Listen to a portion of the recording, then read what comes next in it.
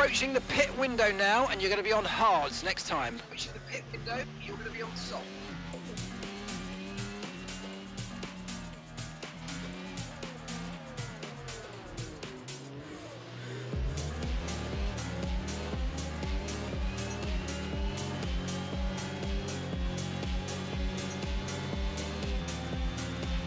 Keep on him, he might make a mistake.